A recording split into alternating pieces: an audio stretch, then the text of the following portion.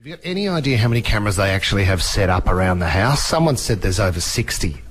Yeah, I think it's like 65. Wow. Wow. 65. How many people applied for it, Sonia?